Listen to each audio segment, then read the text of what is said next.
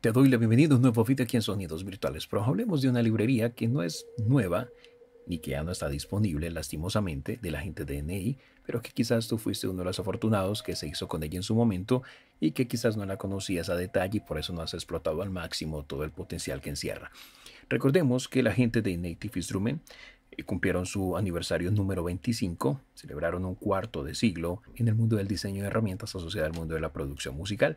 Y para esa celebración ellos quisieron lanzar ese instrumento que llamaron 25, 25 básicamente, un instrumento gratuito de edición limitada de su Play Series. Y el objetivo detrás de ese lanzamiento era que futuras generaciones eh, revisaran y reimaginaran ese legado sonoro de la marca, repleto claramente de sonidos icónicos que apareció en el año 1996 hasta el 2021, que fue el momento de esa celebración. Y ese instrumento pues cuenta, porque aún está vigente para los que lo tenemos, con muchos presets seleccionados a mano, dicen ellos, que abarcaban toda la cartera de la marca desde Generator, que fue el primer plugin que lanzaron la primera versión de un generador de sonidos, hasta Massive X10 que lanzaron en ese momento. Pero la parte realmente interesante es que el mismo permite emparejar dos de estas fuentes de sonido, o sea, dos capas, para esculpirlas en algo completamente nuevo con potentes efectos y, secuenciación bajo una interfaz bastante llamativa, retrofuturista por llamarla de alguna manera. Si fuiste como típico de los que se hizo con esta herramienta, pues yo sí te invito a que la utilices en tus proyectos y le saques el máximo rédito porque realmente es bastante potente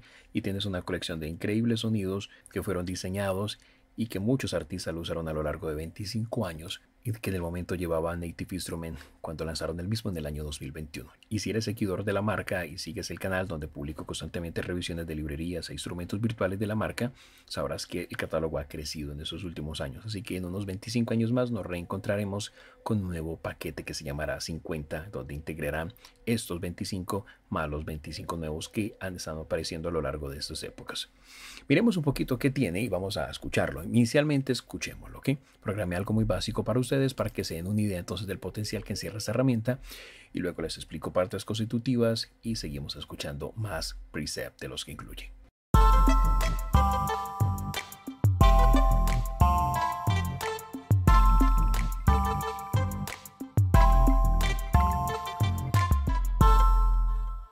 Y ya lo escuchaste en acción. Eso es 25 o 25. Tenemos entonces, como te indiqué, dos capas. Desde aquí das clic y accedes a los sonidos de cada capa. Puedes acceder a los de la B y utilizarlos en la A y la en la B. O sea, el orden no importa. Lo importante es combinarlos. Desde aquí te desplazas entre los distintos sonidos que integra y claramente también desde aquí lo puedes hacer rápidamente. Eso es igual para la capa B.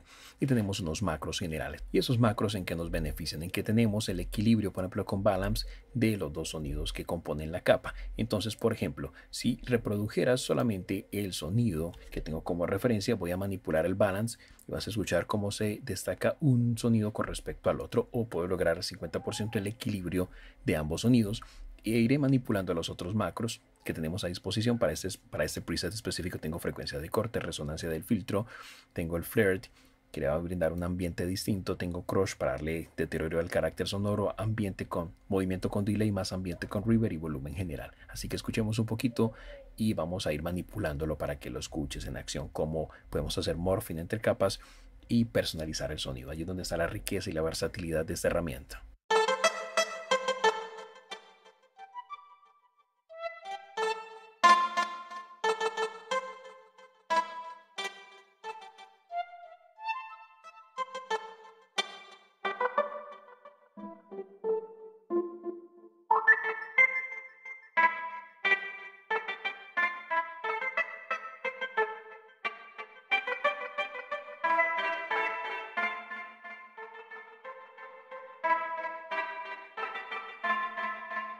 Acabo de escuchar un poquito entonces cómo podemos modelar el sonido, cambiarlo. Ahora, quieres experimentar con nuevos sonidos, tienes este dado, si doy clic voy a generar sonidos de forma aleatoria y eso es un plus porque pueden salir cosas interesantes que simplemente lo guardas como un preset para reutilizarlo luego en tu música. Así que sería algo similar a esto.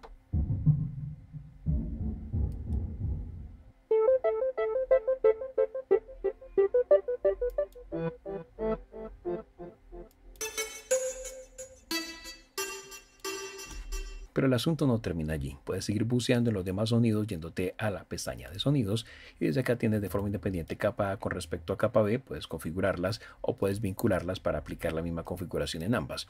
Puedes activar o desactivar la capa, jugar con los distintos sonidos de nuevo desde acá, acceder rápidamente al buscador y elegir el sonido que quieras, hacer transposición de tono, jugar con afinación precisa del sonido que estés manipulando, la panorámica y el volumen. Pero también puedes aplicar un poquito de bitcrusion, es decir, aplicar degradación, reducción entonces en la frecuencia y el cruise, reducción en los bits para degradar claramente el carácter sonoro del audio, agregar un poco de ruido para ese efecto vintage lofi y el color para que suene más oscuro o más brillante. Puedes aplicar filtrado, habilitas desde aquí, ajusta la frecuencia de corte y la resonancia y eliges desde aquí, de esta lista increíble, el filtro que quieras usar. Por default ves que este botón de acá está inhabilitado por el tipo de filtro que uso, pero si me voy a un modo escalera, puedo jugar con la ganancia. Y el Kitrat para hacer que, que la medida que interprete notas más altas va a sonar más intenso el filtro que yo haya elegido. Luego tengo los LFO para jugar con distintas formas de onda, las envolventes, claramente la velocidad que puede estar sincronizada al tiempo de traerla en forma libre y los modos de retrigger con su respectivo fundido de entrada. Las envolventes de modulación, donde tengo ataque, decaimiento, sostén y liberación, y las envolventes de amplitud, que son iguales. Y lo de signos de modulación, que puede ser los osciladores de baja frecuencia, la rueda de modulación, tú eliges. Por ejemplo, si eligiera el, FO1, desde aquí puedo jugar con los niveles asociados a la panorámica, al volumen, al tono, por ejemplo. Entonces puedo personalizar cada uno de una manera muy precisa. Si me voy a la pestaña de efectos, pues claramente puedo agregar carácter, matices al audio que tenga de referencia a cada capa. Puedo elegir acá ecualización para la capa A o ecualización para la capa B. Y cada capa es susceptible de que agregue distintos efectos. Desde este menú emergente puedo cambiar el efecto y personalizarlo claramente los controles que aparecerán en la respectiva ventana de cada uno de los mismos. Y tengo secuenciación. Puedo entonces secuenciar el tono, con respecto al velocity o la macro 1, que en este caso sería la frecuencia de corte y la resonancia del filtro, o la macro 3 y 4, que sería el flirt con el crush, o la macro 5 y 6, que sería el delay y la river. La duración de esa secuencia lo determino acá con estos pasos, hasta máximo 16 pasos en secuenciación, y tengo para que esa secuenciación sea hacia adelante, hacia atrás o hacia adelante, hacia atrás. Desde aquí lo manipulo y la intensidad y eso se comparte para ambos. Tengo aquí el modo latch que sería de sostenido, reproducción. Tengo el modo retrigger que sería por notas, tengo la velocidad, tengo el swing y elijo el primer paso desde acá. En mi secuencia, tengo para jugar con la nota raíz, jugar con la escala, desde aquí la puedo elegir desde el menú emergente o simplemente girando también esa perilla y puedo aplicar eso como ajustes globales. Y si me voy por último a los macros, puedo configurar por ejemplo el cutoff, Aquí lo estás viendo, puedes jugar con valores mínimos y máximos, jugar con distintos presets que pueden servir como punto de partida, en este caso asociadas a la envolventes, también lo puedes hacer de forma manual, desplazarte en el eje horizontal o en el eje vertical con esas flechas y tienes aquí para saber que está asignado. Desde aquí puedes cambiar la asignación, por ejemplo, desde aquí controlo el cutoff de la capa, si doy clic aquí me envía y ves como titila. De esa misma manera puedes regresar y hacer distintas asignaciones, ¿ok? Y por último, el piñón. Desde el piñón tengo configuración general por ejemplo, la nota de prioridad que puede ser la última, puedo trabajar en el modo legato o en el modo mono, por ejemplo, o mono legato.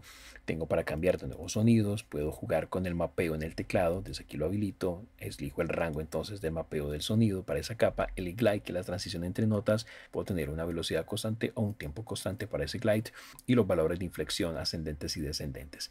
En el centro tengo el velocity curve, desde aquí puedo elegir como referencia mi teclado controlador y elegir la curva, pero también puedes elegir la que tú quieras o puedes diseñarla y tienes aquí para trabajar con preservación de las voces o hacer un bloqueo en ese caso de, de los rangos de inflexión y eso se repite para la capa B.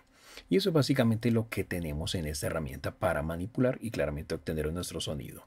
Escuchemos un poquito más lo que podemos lograr con esta herramienta. Voy a ir haciendo ajustes aleatorios sobre el vuelo, cambiando los distintos sonidos que componen esta programación que tengo aquí hecha, que es básica, pero tú puedes lograr con tiempo y dedicación mejores sonidos, mejores secuencias claramente. Así que escuchemos un poquito más este 25 en acción.